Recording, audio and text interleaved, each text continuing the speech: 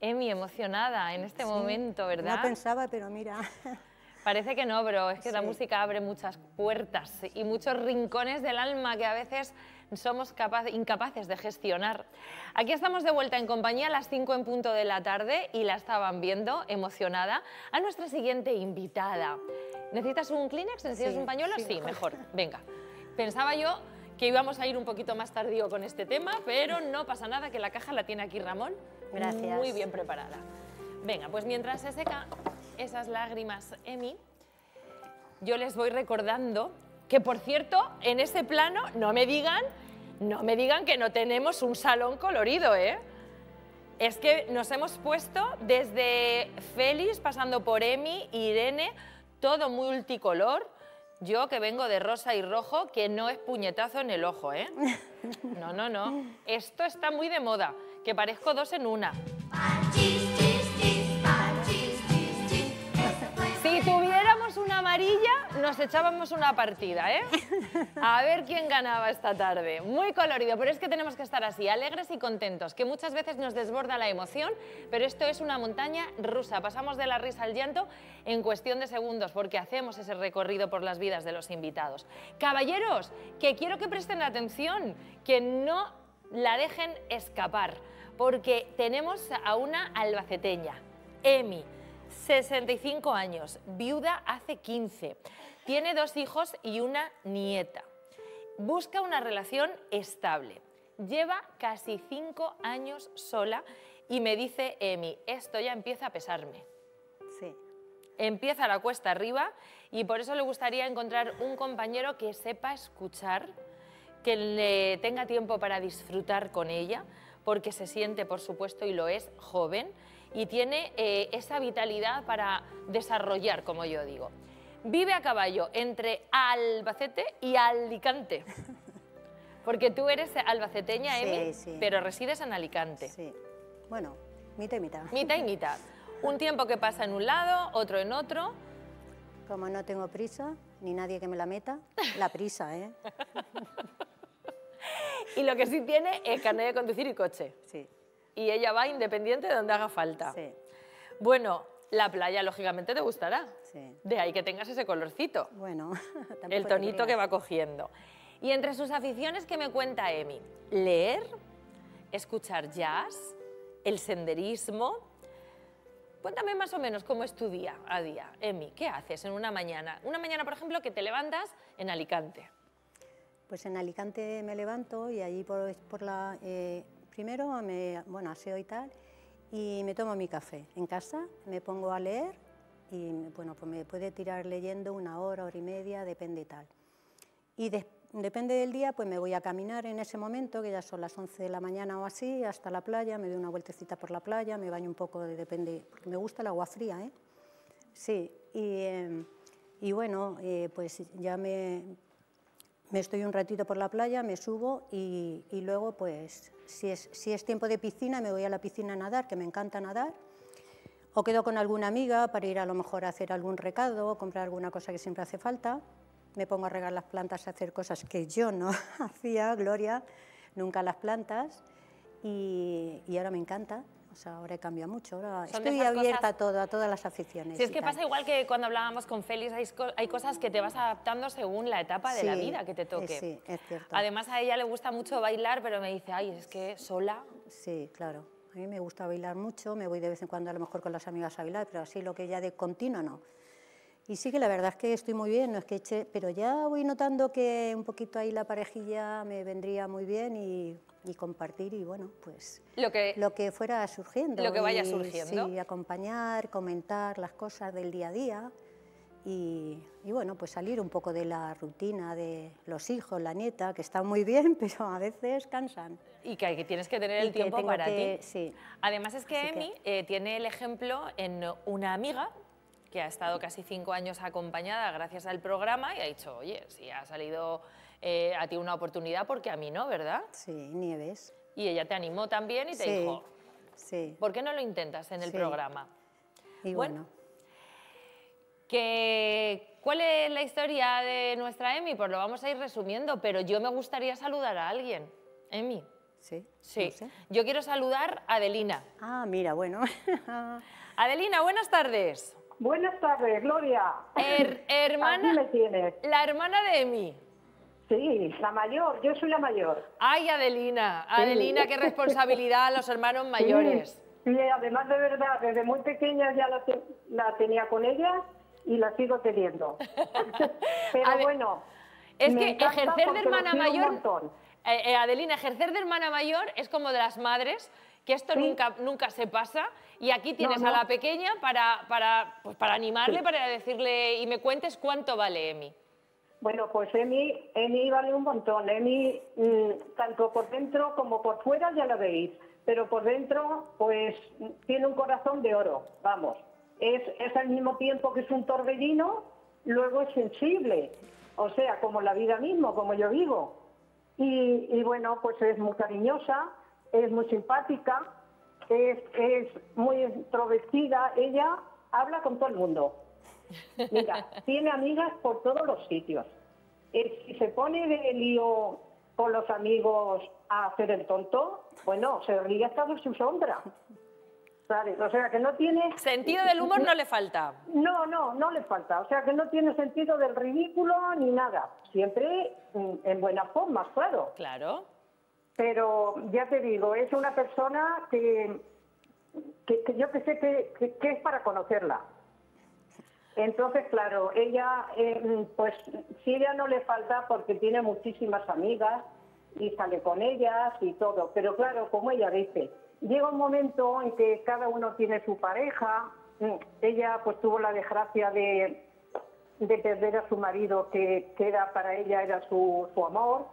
Y, y, ¿y qué quieres que te diga? Pues claro, si ahora encontrara una persona mm, que, que le llegara a ella y que, y que se llevaran bien, pues mira, cuánto, cuánto lo mejor. Claro, y por eso ha dado ese paso Adelina, con esa ilusión viene aquí y vamos a poner no- Sí. todo nuestro empeño en ayudarla. Yo creo que te está Gracias. escuchando emocionada como buena hermana pequeña Mm. y eh, la puedes saludar y desearle suerte, que, que al final la, la has emocionado con tus palabras. Hola, Emi, guapa, que ya te he visto, que vas toda de verde. Ya. Ya te he visto. Ya. Que nada, que, que para adelante y que ya verás cómo tienes suerte y te sale esa media naranja que, que te haga falta y que, y que la tengas para, para los días que, que estemos. Y que, o sea, que, que la persona que eso, pues te encuentres que sea una buena persona y que sea similar a ti para que podáis vivir, pues, pues eso, una vida en lo que en lo que nos depare el mundo, como yo digo, o sea, el mundo, la vida. Claro que sí. ¿Le Sí, devuelves pues- el beso pues a tu hermana mayor? Eh, muchas gracias, Ade. Sabes que te quiero mucho Y yo también, un beso muy grande y no esperaba que llamase. Dale un besito al cuñado y a todos y ya de tu parte. que os quiero mucho a todos, ¿vale? Y yo también te nos- quiero. Nos vemos pronto, Lo cariño. Adiós. Gracias, adiós. Adiós, cariño. Muchas gracias, Ade, muchas gracias por Nada, haber, entrado. Muchas gracias a vosotros. Te mando un beso Por- fuerte. porque hacéis un, un programa estupendo, porque de ahí mm, hacéis a mucha gente feliz, que, que, que también le hace mucha falta a gente que ha perdido la felicidad y vosotros ayudéis a ello. Por eso estamos aquí y por eso, y por eso agradecemos cada palabra y, y cada mensaje de ánimo que mandáis, tanto los familiares como los amigos. Así que de verdad de corazón te lo agradezco. Ade, un besito. Un besito para vosotros también. Adiós, bonita, adiós. Adiós. Adiós, adiós. adiós. Bueno, vamos con Emi, que después de escuchar a su hermana mayor se emocionaba. Sí, y yo quiero vez. hacer el repaso por una paisana, en la vida de una paisana, que además me he encontrado una cosa que es que me ha encantado como curiosidad. Nació en Albacete Emi, la penúltima de cinco hermanos, ahí estábamos escuchando a Adelina, que era la mayor. El padre de, de las, eh, de esta familia era un buscavidas, al que pues, hacía negocios en todo lo que eh, podía. Y viniendo de Albacete, resulta que me cuenta Emi que su padre fue pionero en vender los caracoles en las tascas, Emi. Vaya. Mi padre es el que empezó a vender los caracoles en las tascas, que son como barecitos que ponen barraquitas, o sea, plegables de estas prefabricadas en el paseo de la feria, y lo ponen de abril a agosto, y luego empieza la feria y las tienen que quitar. Y entonces, pues ahí pues, tiene fama porque tiene chorizo, morcillas tal y los caracoles que llevaba mi padre. Todo el mundo lo conocía, un señor así muy grande, muy tal, barrigón, y las bolsas de 5 kilos. Yo me acuerdo de pasar y esconderme para que mi padre no me veía, porque a lo mejor me había ido por ahí, no lo sabía, y llevar en, las manos las bolsas de caracoles 5, 10, 15, 20 y 20, 40 kilos y pim, pim, tan tieso, ahí en las bolsas y tal. Y, bueno, pues eso, em, tenía esa... Y luego lo mismo, luego vendía flores en el Paseo de la Feria en otra época y tal. Era un vividor... Bueno, fíjate, Gloria, te voy a contar una anécdota muy rápida. Eh, fue un, este, en los tapiralzados antiguos de las, eh, de las persianas, que eran los cajones estos que muchas veces se metía frío y tal, se rompió un, cajón de esos. Mi padre, para que no pasara frío, le, le, metió ropas y le metió cosas y tal, y bueno, y algo más. Y cuando fueron ya a arreglar lo que ya salieron los nuevos, se fue el carpintero, empezó a sacar las ropas y todo eso, y habían de billetes que había guardado mi padre, del obispo, ya se habían perdido, ya no los pudimos usar porque era que todo Moneda ya antigua que no... Claro, lo sabía guardar y no se acordaba, como manejaba tanto, trabajaba tanto, y todo era guardar para sus hijos, para sus hijos, para dejarnos bien, para que tuviéramos todo eso. Él puso su propia caja de ahorros ahí en la persiana, sí, ¿no? Sí, sí, sí, pero un montón de billetes, el, señor los bajó, pero ya no pudo Qué tiempos aquellos de los que debajo del colchón, ahora ni debajo del colchón ni por ningún lado, no hay billetes por ningún sitio. Bueno, pues de los caracoles, que ya saben que es mi perdición, Pasamos a, los 14 años de, Emi, que fue la edad hasta la, hasta la que fue al cole. Empezó como, como todos los niños, con esos momentos. Yo es que leo esto, que si de rodillas mirando a la pared. A los cuatro años. Con cuatro, años, chiquiticos. Era otro colegio y eran otras formas. Así que bueno, se gastaba el dinero que le daba su madre del almuerzo en cromos. Ha dicho su hermana mayor, era un trasto y lo sigue siendo. sí, sí. sí. Bueno, aprendió a coser también, cosas de la época. Y bueno, pues era una infancia de aquella época. En su casa, normas, porque claro, erais cinco hermanos, había que poner un poco de normas. Y le habían dicho una, una, regla a seguir. De novios hasta los 18, Nada. nanay. Llevó la peor parte a de hasta los 18 nada. Y mi padre, todo el que iba a vender pescado, como teníamos varias pescaderías y tenía bar, pues para vender le decía, tú vas a ser el novio de mi hijo, tal, llévate esto y tal, y le vendía y tal. Y sí que es cierto que conoció a un chico que con este caso y tenía 17 años y entonces mi padre se enteró y bueno, estaba ahí, la acechaba y tal y nada. Y, y, nada, hasta los 18 no se podía echar novio, no se podía pintar. Un día la vio pintada y le rompió todas las pinturas, pegarle y eso no nos pegaba, esas, no llegamos ahí pero le rompió todas las pinturas. Uy, era tu, tu, padre era un poco estricto, claro, era otra época, hay que poner en contexto y eran otros momentos, menos mal que esto ya ha pasado. Pero como les dijo que de novio nada, la mayor fue abriendo camino. pero claro, ella era la penúltima, no la pequeña del todo, pero rozando. Se saltó un poco la norma, porque no novio, novio, pero la primera vez que se fija en un chico, Emi tenía 16 años y él iba en una moto. Sí. ¿Cómo fue ese momento visual que tú, tú le, lo ves? No, pues eso era que como yo al final eh, iba a sacarme el grado de escolar por la noche, porque como no había querido estudiar siempre y tal, pues entonces ya decidí yo por mí sacármelo. Y una chica, una chica que iba allí a estudiar conmigo, pues la llevaba siempre un, vecino suyo, o sea, no, trabajaban juntos. Y lo llevaba y tal. Y se ve que el chico se fijó en mí y luego dijo, pues te quiere conocer y tal. Y bueno, pues ahí nos conocimos y nos llamamos y empezamos a salir. Y yo a mí me encantó, bueno, con la moto y todo. Era, yo me subía la moto donde fuera. Y estuvimos ahí un tiempo, ¿qué tal? Iba a recogerme a coser, pero yo, como estaba siempre tan encima de mí, fíjate, Gloria, yo... Y decía la profesora del corte donde yo iba a coser y tal, dice que te está llamando el de la moto, dice el de la moto, y hacía así con el puño, ring, ring. Y yo, ay, cállate, digo que yo estoy mejor aquí tal.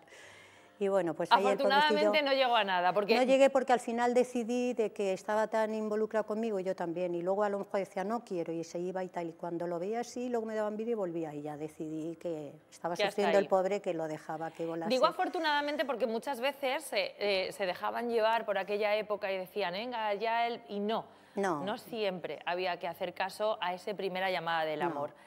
Pero fíjense, no tardó mucho, dos años después, con 18, sí me reconoce Emi, que ahí sí se enamoró.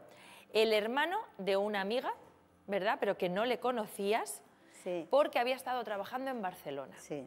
Y de repente vienen, se lo presenta y ahí sí se enamora por primera vez. Emi. Me llevaba súper bien con sus hermanas y con su madre, que su madre me quiere un montón, aún dice que podía haber sido su nuera él sigue casado y tal.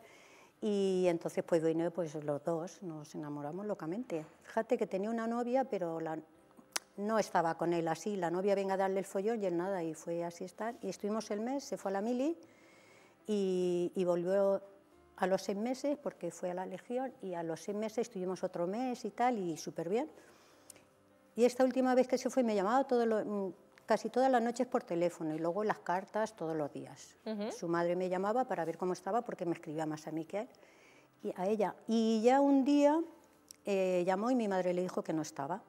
Y yo cuando volví, que me volví a llamar, dice, hola, tal, te llamo y no estaba. Digo, no, dice, es que he visto un amigo y me entretenía a tomar un café con él. Chica, ¿qué dije? Aquí yo no podía yo tener un amigo, qué celos y qué tal, y que digo, "Uf".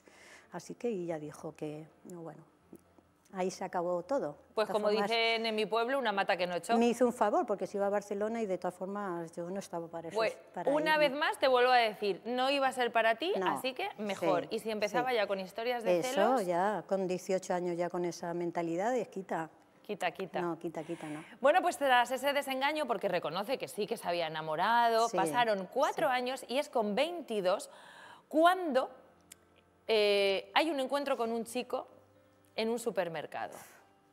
Muy romántico, porque puede haber el baile y tal, el supermercado. Cuéntanos esta historia. Madre mía.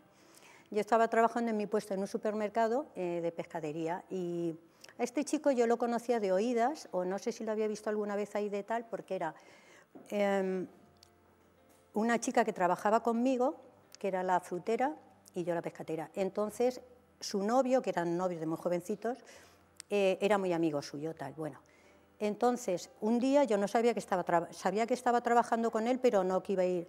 Total, que un día estaba yo así trabajando y de pronto vi pasar, lo vi pasar, digo, pero si es este... Fui, y no sé qué me pasó, no sé qué me entró, qué tal, que me fui ahí, yo ahí, como hacer el, el encontronazo, yo ahí. ¿Por el supermercado? Claro, como lo vi que venía, estaba el almacén aquí, la puerta de entrada de allí, y mi puesto estaba como donde tú estás, ¿no? Entonces, claro, para ir a verlo, pues no iba a ir así de mi puesto que se notase mucho, iba como, como que había salido de, él salía del almacén. ¿Tú pretendías que él te viera de Eh, Ay, que me tropeza fuese? contigo. Ah, pues mira, me tropeza contigo. Entonces lo paré porque él era muy tímido, era súper tímido. Y, hola, ¿qué tal? Y él ahí como que dice, bien, y me miraba así, digo, nada, digo, ¿qué haces? Y tal, y, ¿por qué hora trabajo aquí? Y bueno, y para que está por ahí así. Digo, bueno, pues nada, tal. Y entonces ya se fue.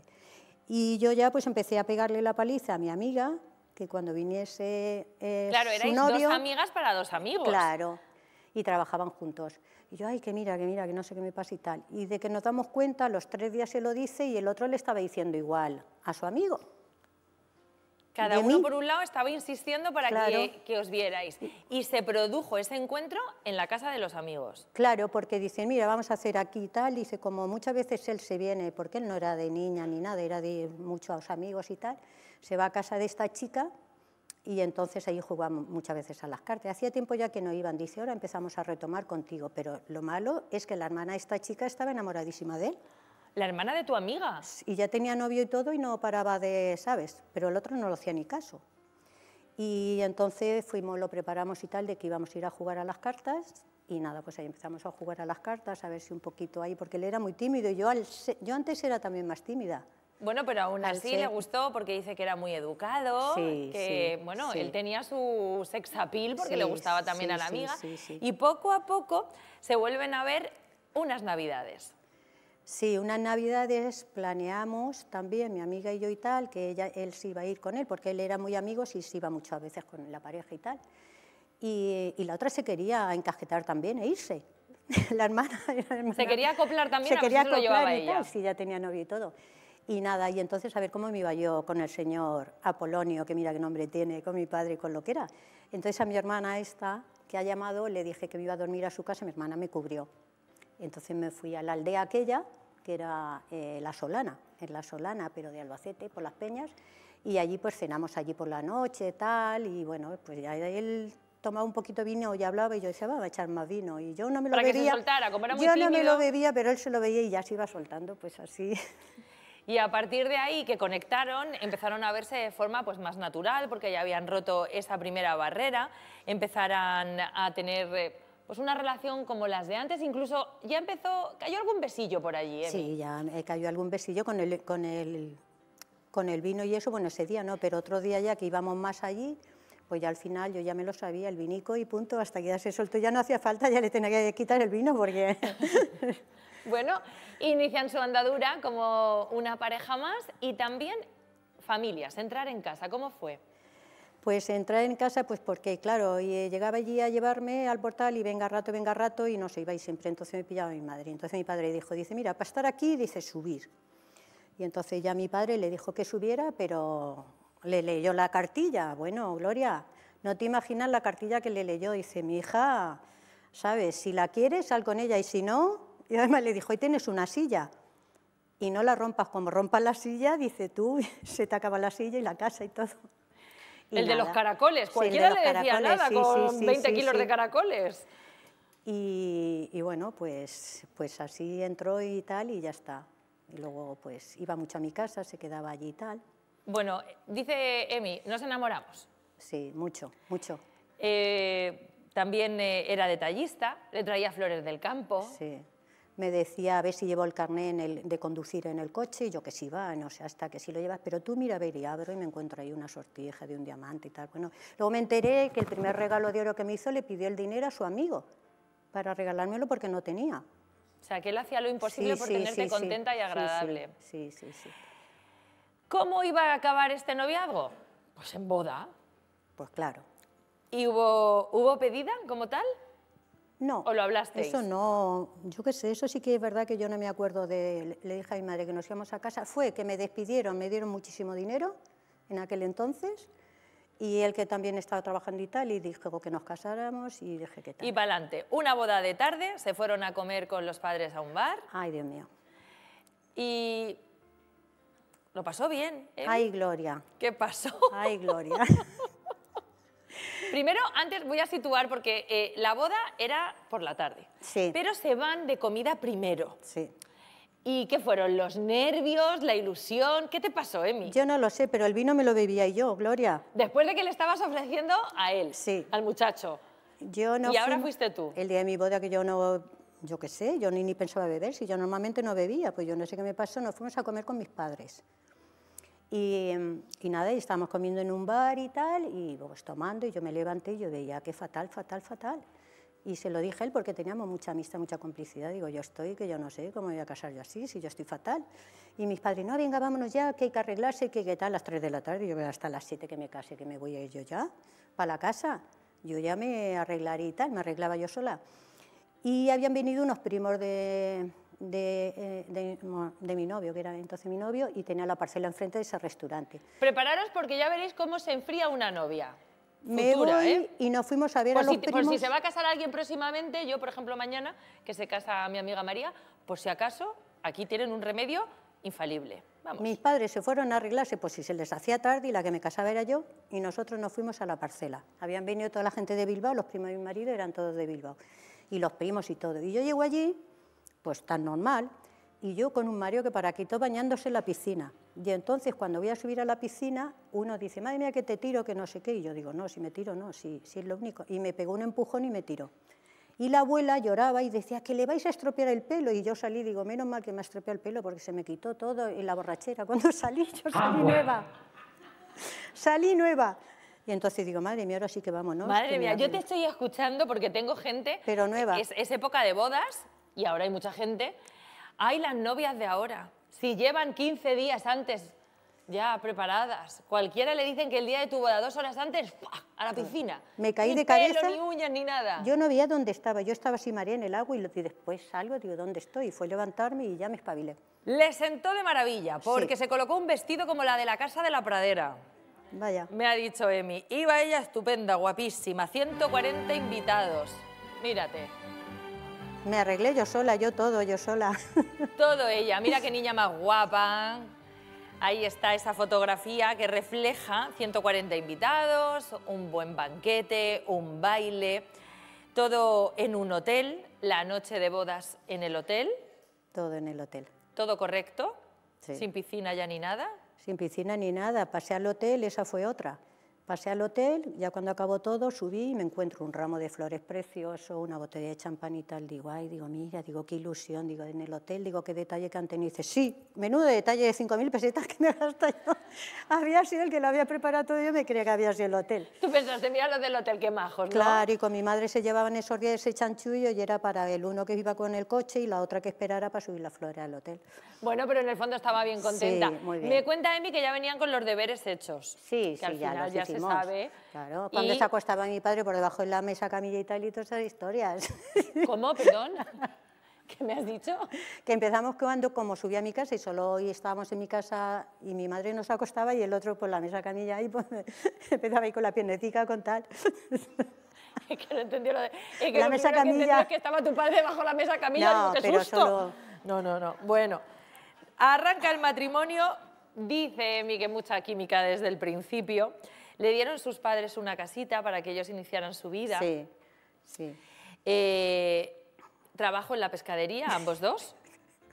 ¿Por qué te ríes? ¿Qué ha pasado? Digo, como no está Ramón no me, no me llega y tal, pero si soy yo la que lo estoy soltando todo. Cuando he dicho la casita, como yo puse la casa que me dejaron mis padres, todavía era suya y tenía las llaves y todo ese rollo, bueno, miento, eh, la estaba arreglando yo y tal, aún venían, pero no estábamos todavía casados, por lo que llevan los deberes hechos, para que lo sepas cómo lo hicimos. Tú cuéntamelo, cuéntamelo. Entonces, pues nada, una tarde que mis padres ya no iban a venir, que estaban por ahí fuera y estábamos ahí. Y, y ya viene mi padre y yo salí corriendo por la y el pobre no le dio tiempo y se metió debajo de la cama y mi padre se echó la siesta, no tenía otra cama nada más que esa. Y el otro se tenía que ir a trabajar. Y eso debajo de debajo de la cama. Menos mal que ha prescrito ya esto, ¿eh? Se tiró todo el tiempo debajo de la cama hasta que tu padre se Hasta que mi padre pudimos convencerlo, yo a mi madre la mandé a una tienda a comprar no sé qué, que era mentira, y a mi padre le dije que el coche que estaba mal aparcado para que se levantara corriendo, el otro salió corriendo, y tal, y entonces se pudo ir. Pues mi padre es que se iba a acostar todo el día ahí, porque como venía con los caracoles tan cansado, pues venía a las 4 de la tarde y hasta las 10 Y de le la daba noche. todo el tiempo. Y el otro no podía salir, porque como el hombre tenía esa barriga y se bajaba tanto, el otro estaba y chafa debajo de la cama.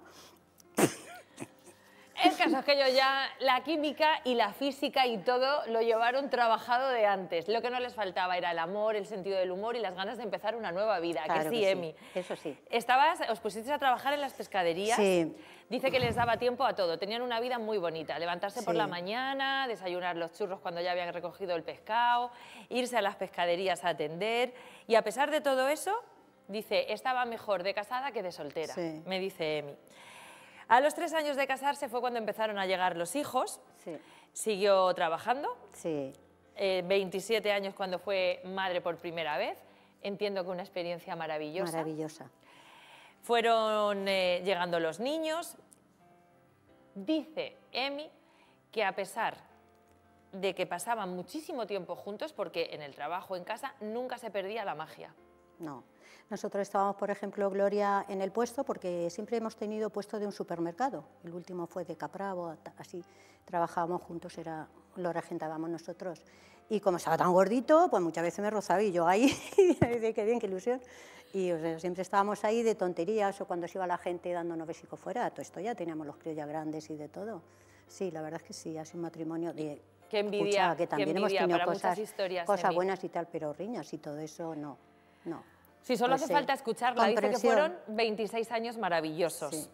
No discutían, porque oye, tenían sus discusiones Sí. como todo el mundo, tenían sus rutinas, pero ella era muy feliz con su familia, con sus hijos, con Sí. su marido. Pero Con llegó, toda la familia. Llegó lo malo, ¿eh? Ya. Llegó vaya. lo malo. Pasa una vida maravillosa, fíjense cómo saltamos de las emociones, de las risas, de la complicidad, al momento malo. 50 años cuando falleció tu marido, tres meses después tu madre. O sea, no, llegó al revés, mi madre. primero antes. tu madre y luego... Sí, bueno, da igual. Dice que me cuenta Emi que cuando estaba haciendo el servicio militar tuvo un problema de salud, le hicieron una transfusión, Mm. le generó una hepatitis que la acompañó el resto de su vida. Como era tan burro para trabajar y todo, y que nunca decía nada ni nada, pues entonces no se cuidaba, y, pero nunca estuvo malo, nunca, nunca, nunca. Pues la hepatitis A se le convirtió en C. Y bueno, le hicieron el, el trasplante. Y en ese tiempo y en ese duelo, pues dice, no me lo podía ni creer, pero pasó, vaya que sí pasó. Pasé fatal. Se tenía que rehacer, sus hijos ya eran mayores, ellos ya habían emprendido su vida, se acopló en la familia, con la hermana, viajó incluso eh, con... eh, Con mi cuñada me fui a Alicante a tener a la niña pequeña. a Alicante, y allí pasé que mi luego duelo. ahí fue donde se enamoró de aquella tierra y esa conexión. Sí. Se fue a Argentina, la novia de su hijo era de allí, tenía que distraerse y pasar el duelo. Y tras seis años viuda, con 56, conoció a un hombre en Albacete, los dos viudos. Sí. Él tenía siete años más, motero. Aquí sí, aparece también. una moto de Otra nuevo. moto. Una moto. Sí. Bueno, se fueron descubriendo, parece que cuadró al principio la sí, cosa, ¿verdad? estuvimos, la verdad es que estuvimos súper bien, con mucho respeto, mucho cariño, mucho, mucha complicidad, pero luego, pues, eh, en cierto modo, pues, nos dimos cuenta que, que estábamos mejor como amigos que como pareja, porque no congeniamos en ciertas cosas. en- Yo creo que está. hay una etapa en la vida también, Emi, en la que la sinceridad prima por encima Sí, de todo. pero quedamos muy bien, de hecho, a día de hoy, pues, nos felicitamos las Pascuas, tampoco es invierno ni nada, pues felicitamos, pues, mejor. Y aún así, cuatro años, o sea, que estuvisteis sí, tiempo cuatro juntos años, muy bien, muy mucho. bien, y lo mismo, no recuerdo nada, no recuerdo cosas malas, ni al contrario. Pero qué elegante y qué honesto. Eh, funcionábamos mejor como amigos que como Sí, pareja. Sí, Así que- y muy bien. Bueno, desde entonces ha tenido algún que otro intento, Emi. Sí, pero Eh, lleva cinco años sin estar con alguien. En Alicante tiene una parte de vida Sí. donde disfruta. Lo digo por el llamamiento, por, pues porque hay mucha gente que nos ve desde Alicante. Los, los señores que nos estén viendo desde la zona de Alicante, cualquier eh, puntito que nos puedan ver desde allí, pues que sepan que la, la- la pueden encontrar. Pero Albacete es también donde tiene su corazón, sus raíces y donde también pasa tiempo. Claro que sí. Y oye, quién sabe, Emi, porque con esa vitalidad, con esa jovialidad que tú tienes, es que te podrían llamar desde cualquier punto de España y no te digo yo a ti que surgiera el flechazo, ¿eh? que hemos tenido eh, invitados que venían con el, bueno, que sea de cerca, y luego, no, a mí me da igual. De A mí donde da sea. igual, me da igual. Si no nos vemos tres días, pues nos vemos dos. Y si no, es. pues no me vuelvo me- o lo que haya que hacer. Es que Emi jamás ha cerrado las puertas porque ella viene dispuesta a intentarlo, confía en el programa y atención porque busca un compañero educado y con saber estar. La educación para ella fundamental, que no tenga vicios, Claro que no. que no tenga vicios, que se cuide, ¿verdad, Emi? Sí, sí. Ya la están viendo, es una mujer coqueta, que le gusta arreglarse, que le gusta cuidarse, que se gusta, que le gusta estar activa, que nos ha dicho que camina mucho, que le gusta el senderismo. Intereses culturales, pues vamos a ver, ir al cine, a museos, viajar, leer, una buena conversación, voy dando ideas, que sepa escuchar. Además es que ella es una con- ella le gusta la conversación y habla. A mí me gusta escucharte. Tienes una forma de contarlo todo muy bonita. Sí, me gusta gracias. mucho, Emi. Y que sea una relación eh, seria lo que busca, que es lo que a ella le interesa, que llegado ya a este punto de la vida, oye, tonteos los justos, ¿eh? Que eso no significa que no se intente y luego no cuadra. Perfecto. Exacto. Pero que no vengan con tonterías. No. Al final es lo que, lo que interesa. Llevarse sobre todo bien. Me quedo, de verdad te lo digo, creo que tienes una conversación fantástica, Emi. Sí, Sí, gracias. además tienes una forma de hablar que me gusta mucho. ¿Sabes lo que haces muy bonito? Gesticulas. Sí, eso sí. ¿A que sí? sí. O como sí. si estuviera haciendo magia. Sí, es que yo no. soy también de esas. Sí, entonces la estoy viendo que dice, y entonces yo fui y estaba y tal. Y tiene, unas manos muy elegantes. Me ha gustado mucho. bueno. Oye, a ver si te traes suerte, ¿eh? Vale. Lo que menos pensaba era el teléfono, ni me acordaba que estaba aquí. Es que esa, es, yo hago esa magia. Creía que estábamos solas, Pues eso es lo que yo te he dicho, que tú te dejaras llevar por mí como si fuera una charla entre como amigas. si estuviéramos solas. Pero esta llamada es para ti, Emi. Con tu Vale. permiso voy a contestar. Vale. Hola, buenas tardes. Buenas tardes, ¿Cómo te llamas, amigo? José María. José María. Sí. ¿Años, De Albacete. Ah, mira, de Albacete Capital. Sí. José María, ¿cuántos años tienes? Eh, 68 cumplí hace poco. Muy bien. ¿Y estado civil? Eh, separado. Hace 23 años. Bueno, es divorciado, entiendo. No, no, no, separado. Vale. José María, ¿tienes Sí. hijos? No, No tienes hijos. Perfecto. no he tenido. ¿no? Bueno, te voy a preguntar algunas cosillas para que me ha contado a mí, Emi, a ver, ¿te, gustan, eh, ¿te gusta caminar? ¿Te gusta salir, ir al cine, todo esto? Sí, sí, sí. Eres un hombre activo. Soy por- activo. Muy bien. ¿Eres eh, fumador? No, Lo tachamos. Un detesto el, el tabaco. Lo detesta. Y los bares solo para ir a tomarse algo, no de estarse allí mañana, tarde y noche. Efectivamente, lo, lo más justo un café, eh, una cerveza de vez en cuando, pero... Y poco más. Muy bien. Eh, bueno, José María, pues hecho un- hemos hecho un pleno ahí en nuestra búsqueda. ¿Qué es lo que te ha gustado de Emi? Porque veo una mujer que es sensible, es culta, y luego porque la virtud esa de saber escuchar es una persona que yo respeto mucho. Eh, Eso es fundamental en, en una Claro. conversación, en todo. Que, tenga, que tengáis un entendimiento, que podéis escuchar. Bueno, sobre todo lo de escuchar y hablar, porque es como empieza esto, por teléfono. Si no, Efectivamente. mal iríamos, mal encaminados. Pues te la voy a presentar, José María, Emi, te lo voy a presentar. Os podéis saludar Sí. mirando a esta cámara. José Emi, María. buenas tardes. Hola, buenas tardes. José Manuel, ¿Qué ¿me has dicho que te llamas? José María. José María. José María. Vale, ¿qué tal? ¿Vives en el mismo Albacete? Sí. Ah, vale. Y nada, ¿y, Tú preguntas lo que quieras. Eh, ¿Por dónde te mueves por Albacete y todo eso? ¿Qué te gusta hacer eh, en Albacete? Pues a- a ir al hogar, echarle billar, la natación me gusta mucho también, ir al campo. Vale, Sí. muy bien. Bueno, bien. Bueno. La natación me encanta también. Vale. ¿Y la feria? Soy Gloria, la perdón. feria también, sí, La feria, perfecto. claro. Bueno, pues nada, que gracias por llamar y luego como me darán el teléfono, pues ya nos ponemos en contacto, ¿vale? No, gracias a ti por estar ahí en el programa. Venga, Muy bien, pues muchas nada. gracias, José María. Ya hablaréis tranquilamente en privado. claro, ¿Me puedes llamar cuando te venga bien? vale, de acuerdo. Y, y a pasar buena tarde. Feliz Venga, tarde. igualmente un saludo. Vale, un abrazo. Oye, Hasta José luego. María, una duda que tengo yo. Tú vives en Albacete, pero ¿eres nacido en Albacete? Nacer en la provincia. ¿En Tobarra? No, Ah. en Paternas de Madera. Ah, Madre mía. en Paterna de la Madera. Per- perfecto. El pueblo de mi padre. ¿El pueblo de tu padre? Ah, pues fíjate, ¿En serio? qué casualidad. Qué casualidad. Mira, mira, ¿ves? He ahondado yo ahí, ¿no? Yo era curiosidad que tenía. Perfecto, pues bueno, ya os pondréis en contacto, ya te, le daremos tu teléfono, José María a Emi, ¿de acuerdo?